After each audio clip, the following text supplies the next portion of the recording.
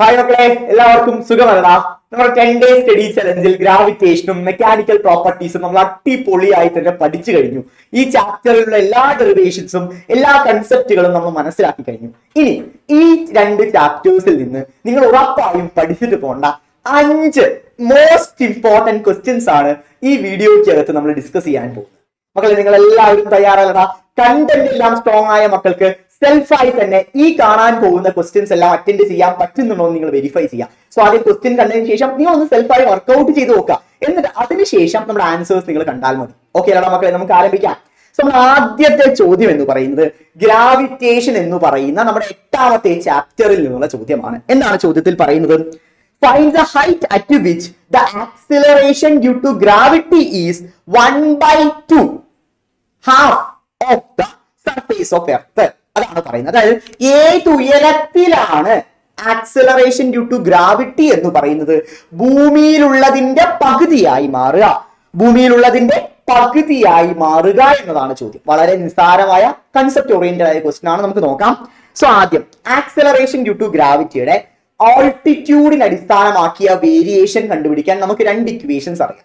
ഒന്നാമത്തെ ഇക്വേഷൻ എന്ന് പറയുന്നത് ഫൈനൽ ഇക്വേഷൻ ആണ്. G dash equal to g into one minus two h by r അതിന് മുന്നോടിയായി അല്ലെങ്കിൽ അതിന് മുൻപായി നമ്മൾ ഒരു ഇക്വേഷൻ പഠിച്ചായിരുന്നു. ഏതാണ് g dash by g equal to r square divided by r plus h whole square relation പറഞ്ഞപ്പോ പലപ്പോഴായി പറഞ്ഞു തന്നു. ഇതാണ് നമ്മുടെ മേജർ ഇക്വേഷൻ എന്ന് പറയുന്നത്. അതായത് g dash by g equal to r square divided by r plus h whole square മക്കളെ ഇതാണ് നമ്മുടെ മെയിൻ ഇക്വേഷൻ എന്ന് പറയുന്നത്. സെക്കൻഡ് അതായത് ഫൈനലി നമ്മൾ എഴുതുന്ന ഇക്വേഷൻ ഒരു സ്പെഷ്യൽ കണ്ടീഷൻ സാറ്റിസ്ഫൈ ചെയ്യുമ്പോൾ മാത്രമേ ഫൈനൽ ഇക്വേഷൻ നമുക്ക് അപ്ലൈ ചെയ്യാൻ സാധിക്കത്തുള്ളൂ. എന്താണ് ആ special condition when height is very much less than the radius of earth അതായത് ഉയരം എന്ന് പറയുന്നത് ഭൂമിയുടെ റേഡിയസിനെ സംബന്ധിച്ചിടത്തോളം വളരെയധികം ചെറുതാവുക മാത്രമേ ഫൈനൽ ഇക്വേഷൻ നമുക്ക് ഇവിടെ അപ്ലൈ ചെയ്യാൻ സാധിക്കത്തുള്ളൂ. എന്നാൽ ഈ ഒരു ചോദ്യത്തിന് ഈ ഒരു ചോദ്യത്തിൽ ഉയരത്തെ പറ്റി ഒരു ധാരണയും നമുക്ക് നൽകുന്നില്ല. ഏത് ഉയരത്തിലാണ് ആക്സിലറേഷൻ ഡ്യൂ ടു ഗ്രാവിറ്റി എന്ന് പറയുന്നത്? ഭൂമിയുടെ സർഫേസിലുള്ളതിന്റെ പകുതിയായി മാറുക എന്നാണ് പറയുന്നത്. സോ ഉയരം ചെറുതാണോ വലുതാണോ എന്നുള്ള കാര്യത്തെ പറ്റി നമുക്ക് ഒരു ഐഡിയയും ഇല്ല. സോ നമുക്കത് കണ്ടുപിടിക്കേണ്ടതുണ്ട്. അതിനാൽ തന്നെ ഈ ഒരു ഇക്വേഷൻ ആണ് നമ്മൾ ഉപയോഗിക്കേണ്ടത്. ക്ലിയർ അല്ലേ മക്കളെ? റൈറ്റ് സോ ഇതിനെ നമുക്കൊന്ന് റീഅറേഞ്ച് ചെയ്യാം. അതായത് ജി ഡാഷ് ഈക്വൽ ടു എന്ത് വരും? G into r square divided by r plus h whole square g dash equal to g into r square divided by r plus h whole square clear അല്ലടാ? Fine so ഇവിടെ അവർ പറഞ്ഞിരിക്കുന്നത് G dash എന്ന് പറയുന്നത് എന്താണ്? G by to ആണ്. ഭൂമിയിലുള്ളതിന്റെ പകുതിയാണെന്നല്ലേ പറഞ്ഞിരിക്കുന്നത് മക്കളെ. So g dash equal to g by two so എങ്ങനെ റീപ്ലേസ് ചെയ്യാം? G by two equal to g into r square divided by r plus h whole square. Clear അല്ല മക്കളെ? കാര്യം വൃത്തിയായി തന്നെ മനസ്സിലായില്ലടാ. ജിയും ജിയും ക്യാൻസൽ ചെയ്യുക അപ്പൊ എന്താണ് വരിക? One by two equal to r square divided by r plus h whole square fine okay അല്ലടാ മക്കളെ. ഇനി അടുത്തത്. നമുക്ക് രണ്ടും പരസ്പരം ക്രോസ് മൾട്ടിപ്ലൈ ചെയ്യാം. So r plus h whole square equal to two r square എന്ന് വരും. നമുക്ക് റൂട്ട് എടുക്കാം. എച്ച് ആണ് കണ്ടുപിടിക്കുന്നത്. So root എടുക്കുവാണ് r plus h equal to root two r എന്ന് വരും. ടുവിന്റെ റൂട്ട് എന്ന് പറഞ്ഞാൽ റൂട്ട് ടു ആണ്. ആറിന്റെ ആർ സ്ക്വയറിന്റെ റൂട്ട് എന്ന് പറഞ്ഞാൽ ആർ ആണ്. സോ എച്ച് ഈക്വൽ ടു എന്ത് വരും? Root two r minus r എന്ന് വരും. So h equal to root ടുവിന്റെ value one point four one four r minus വെറും ആർ എഴുതുന്നതിന്റെ കൂട്ടത്തിൽ ഞാനൊരു വൺ ആർ എന്ന് എഴുതുവാണ്. കാരണം നിങ്ങൾക്ക് മനസ്സിലാക്കാൻ എളുപ്പത്തിന് വേണ്ടിയാണ്. So one point four one four ആറിൽ നിന്ന് വൺ ആർ മൈനസ് ചെയ്താൽ ബാക്കി എന്തേ ഉള്ളൂ മക്കളെ? H equal to zero point four one four r ഇതാണ് നമ്മുടെ എന്തെന്ന് പറയുന്നത്? ഫൈനൽ ആൻസർ എന്ന് പറയുന്നത്. ഇതാണ് നമ്മുടെ ഫൈനൽ ആൻസർ എന്ന് പറയും കാര്യം വൃത്തിയായി തന്നെ മനസ്സിലായില്ലേ? സോ ഏത് ഉയരത്തിലാണ് ആക്സലറേഷൻ ടു ഗ്രാവിറ്റി ഭൂമിയിലുള്ളതിന്റെ പകുതിയായി മാറുക. ഭൂമിയുടെ റേഡിയസിന്റെ zero point four one four മടങ്ങ് ഉയരത്തിലാണ് പകുതിയായി മാറുക. നമ്മുടെ കെപ്ലേഴ്സ് ലോയിലെ ലോ പിരീഡ്സ് എന്ന് പറയുന്ന കണ്ടന്റുമായി അല്ലെങ്കിൽ അങ്ങനെ ഒരു ലോവുമായി ബന്ധപ്പെട്ട ഒരു ന്യൂമറിക്കൽ ക്വസ്റ്റൻ ആണ്. രണ്ട് തവണ അവസാന ഏഴ് വർഷത്തിൽ പബ്ലിക് എക്സാമിന് ചോദിച്ച ചോദ്യമാണ്.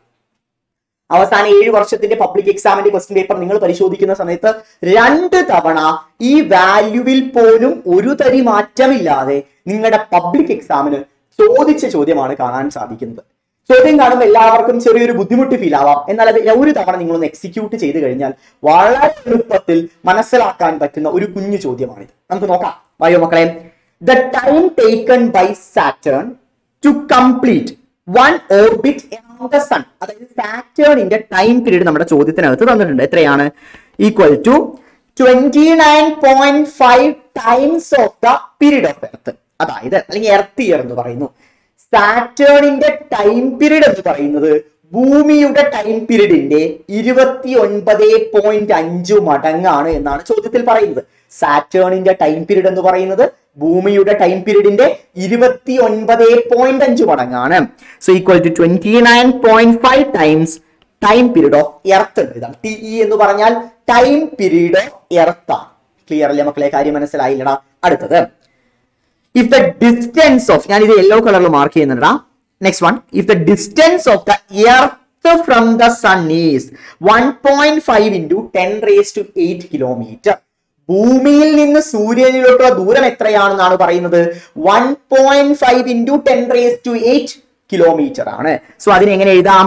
A E distance of the earth from the sun is one point five into ten raise to eight kilometre നമുക്കിവിടെ കണ്ടുപിടിക്കേണ്ടത് സാറ്റേണിൽ നിന്ന് സണ്ണിലോട്ടുള്ള ദൂരമാണ്. എ എസ് ആണ് നമുക്കിവിടെ കണ്ടുപിടിക്കാനുള്ളത്. നമ്മളിവിടെ അപ്ലൈ ചെയ്യാൻ പോകുന്നത് ലോ ഓഫ് പിരീഡ്സ് ആണ്. എന്താണ് ലോ ഓഫ് പിരീഡ്സ് പറയുന്നത്?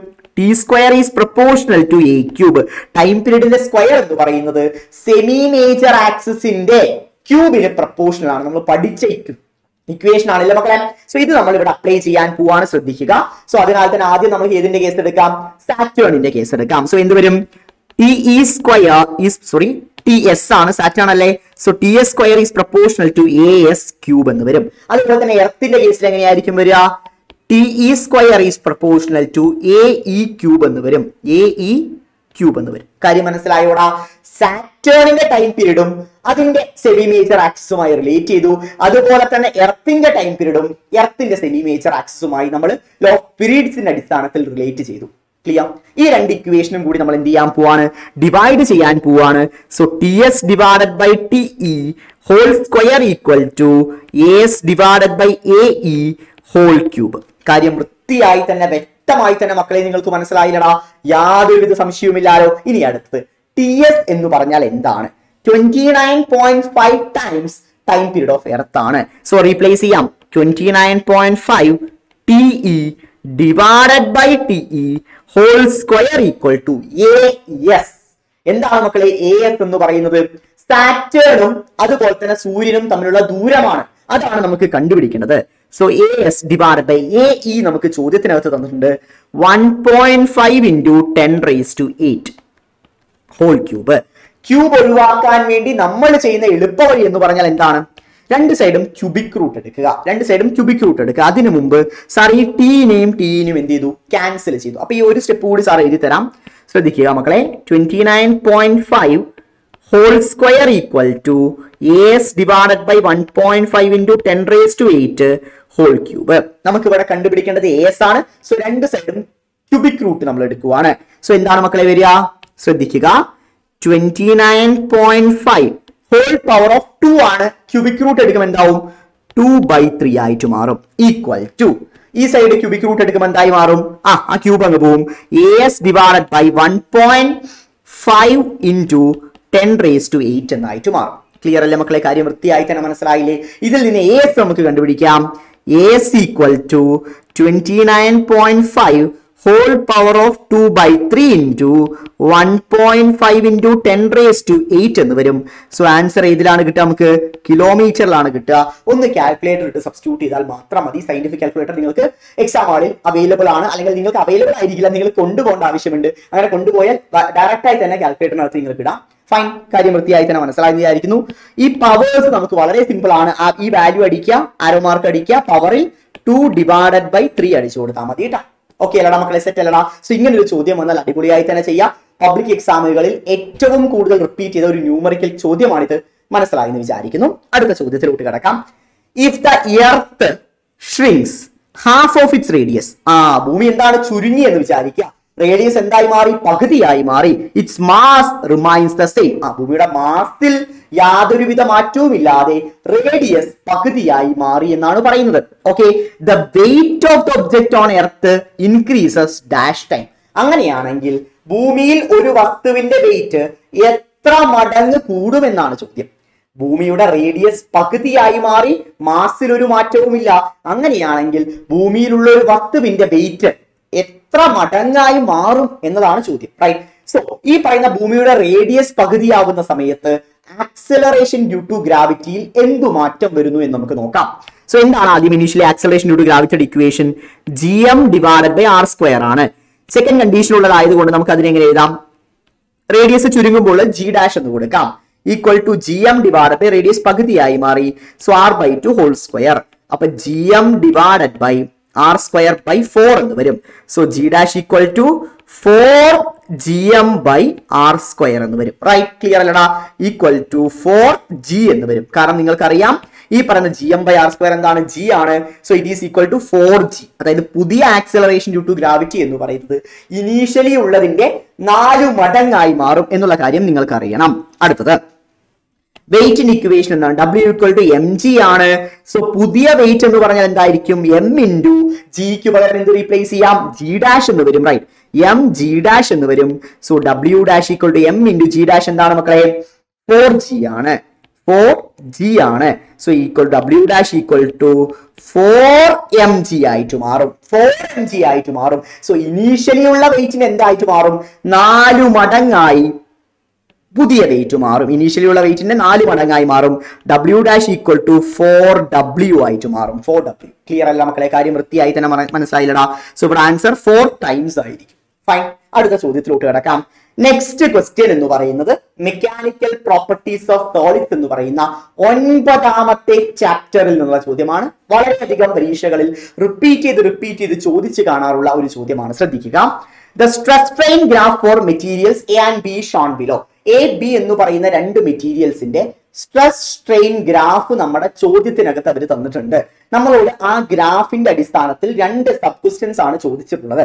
ഒന്നാമത്തെ ചോദ്യം which of the material has greater Young's modulus ഏതിനാണ് Young's modulus കൂടുതൽ? നമുക്കറിയാം യങ്സ് മോഡുലസ് എന്ന് പറഞ്ഞാൽ എന്താണ്? സ്ട്രെസ് ബൈ സ്ട്രെയിൻ ആണ്. റൈറ്റ് സ്ട്രെസ് ബൈ സ്ട്രെയിൻ ആണ്. അതായത് ഈ ഗ്രാഫിന്റെ സ്ലോപ്പ് ആണ് എന്തിനെ പ്രൊവൈഡ് ചെയ്യുന്നത്? യങ്സ് മോഡുലസ് എന്ന് പറയുന്നത്. സ്ലോപ്പ് കൂടുതലുള്ള ഗ്രാഫിന് യങ്സ് മോഡുലസ് കൂടുതലായിരിക്കും. ഇവിടെ ബിക്കാണോ എക്കാണോ സ്ലോപ്പ് കൂടുതൽ? എയ്ക്കാണ് സ്ലോപ്പ് കൂടുതൽ. സോ എയ്ക്കായിരിക്കും യങ്സ് മോഡുലസ് കൂടുതൽ. അടുത്തത്. ഏത് മെറ്റീരിയൽ ആണ് സ്ട്രോങ്ങർ അതും വളരെ എളുപ്പത്തിൽ മനസ്സിലാക്കാം. നമുക്കറിയാം അൾട്ടിമേറ്റ് ടെൻസൈൽ സ്ട്രെങ്ത്തും ഫ്രാക്ചർ പോയിന്റും ദൂരം കൂടുതൽ അകലത്തിലാണെങ്കിൽ മെറ്റീരിയൽ കൂടുതൽ ഡെക്റ്റൈൽ ആയിരിക്കും. അൾട്ടിമേറ്റ് ടെൻസൈൽ സ്ട്രെങ്ത്തും ഫ്രാക്ചർ പോയിന്റും അടുത്തടുത്താണെങ്കിൽ മെറ്റീരിയൽ വളരെയധികം ബ്രിട്ടിൽ ആയിരിക്കും പെട്ടെന്ന് പൊട്ടിപ്പോകുന്ന മെറ്റീരിയൽ ആയിരിക്കും സ്ട്രെങ്ത് സ്ട്രെങ്ത് കുറവായിരിക്കും. സോ ഇവിടെ ശ്രദ്ധിക്കണം ഈ ഒരു മെറ്റീരിയലിൽ അൾട്ടിമേറ്റ് ടെൻസൈൽ സ്ട്രെങ്ത്തും അതുപോലെ തന്നെ ഫ്രാക്ചർ പോയിന്റും അകലെയാണ്. ഇവിടെ നമുക്ക് വളരെയധികം ക്ലോസർ ആണ്. സോ ഏതിനായിരിക്കും സ്ട്രെങ്ത് കൂടുതൽ? എ എന്ന് പറയുന്ന ഫസ്റ്റ് മെറ്റീരിയലിനാണ് സ്ട്രെങ്ത് കൂടുതൽ. ക്ലിയർ അല്ലേ? മക്കളെ ഒരു ചോദ്യം കൂടിയുണ്ട്. നമ്മുടെ അവസാനത്തെ ചോദ്യം അഞ്ചാമത്തെ ചോദ്യം. യങ്സ് മോഡുലസിനെ അടിസ്ഥാനമാക്കിയ ചോദ്യമാണ് ഒരു പ്രീവിയസ് ഇയർ ക്വസ്റ്റ്യൻ നമുക്ക് നോക്കാം. Okay a steel rod of length one metre and radius ten millimetre structure by a force hundred kilo newton calculate the elongation of the steel rod അതിനുവേണ്ടി അവർ യങ്സ് മോഡുലസിന്റെ value തന്നിട്ടുണ്ട്. Elongation ആണ് കണ്ടുപിടിക്കേണ്ടത്. ആ steel റോഡിന്റെ ലെങ്ത് തന്നിട്ടുണ്ട് radius തന്നിട്ടുണ്ട് ഫോഴ്സ് തന്നിട്ടുണ്ട് യങ്സ് മോഡുലസ് തന്നിട്ടുണ്ട്. എന്താണ് equation Young's modulus y equal to F L divided by A delta L നമുക്ക് എല്ലാവർക്കും അറിയുന്ന നമ്മൾ പഠിച്ച ഇക്വേഷൻ ആണ് Y equal to F L divided by A delta എന്ന് പറയുന്നത്. അങ്ങനെയാണെങ്കിൽ നമുക്ക് ഇവിടെ കണ്ടുപിടിക്കാൻ ഡെൽറ്റ എൽ അല്ലേ? Equal to F L divided by A Y എന്ന രീതിയിലോട്ട് വരും. ഫോഴ്സിന്റെ എന്താണ്? ഫോഴ്സ് എത്രയാണ്? ഹൺഡ്രഡ് കിലോ ന്യൂട്ടൺ ആണ്. സോ നൂറ് into ten to the power three എന്ന് വരും. നൂറ് into ten to the power three ന്യൂട്ടണിലോട്ട് മാറ്റി. ഇന്റു ലെങ്ത് എത്രയാണ്?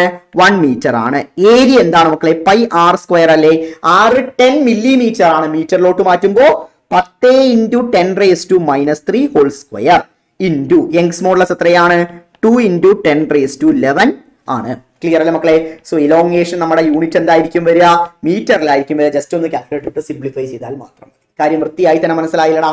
ഓക്കെ അല്ലടാ മക്കളെ? ക്ലിയർ സോ ഇതൊക്കെയാണ് അഞ്ച് മോസ്റ്റ് ഇമ്പോർട്ടന്റ് ക്വസ്റ്റ്യൻ ഈ ചാപ്റ്ററുകളിൽ നിന്ന് വരാൻ സാധ്യതയുള്ള അഞ്ച് ലൈവിൽ ഡിസ്കസ് ചെയ്യാത്ത അഞ്ച് ചോദ്യങ്ങൾ. ഇവയെല്ലാം നിങ്ങൾക്ക് മനസ്സിലായെന്ന് വിചാരിക്കുന്നു. സോ വീഡിയോ നിങ്ങൾക്ക് ഇഷ്ടപ്പെട്ടു കഴിഞ്ഞാൽ ഉറപ്പായും നിങ്ങളുടെ സുഹൃത്തുക്കളിലോട്ട് വീഡിയോ ഷെയർ ചെയ്യുക ലൈക്ക് ചെയ്യുക. നിങ്ങളുടെ വിലയേറിയ ഫീഡ്ബാക്കുകൾ കമന്റ് ബോക്സിൽ അങ്ങ് ഇടുക. സോ മക്കളെ ഇതുപോലുള്ള വീഡിയോ ക്ലാസ്സുകളുമായി ഞാൻ വീണ്ടും വരും. അതുപോലെ തന്നെ ടെൻ ഡേയ്സ് സ്റ്റഡി ചലഞ്ച് എല്ലാ ദിവസവും ഫോളോ ചെയ്യാൻ നോക്കുക. ക്രിസ്മസ് എക്സാമിൽ നമുക്ക് മുഴുവൻ മാർക്കും അടിച്ചെടുക്കാൻ സാധിക്കും. സോ മക്കളെ നമുക്ക് കാണാം.